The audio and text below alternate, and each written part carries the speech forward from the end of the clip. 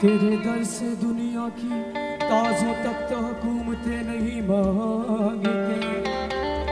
सोना नहीं मांगते, चांदी भी नहीं मांगते।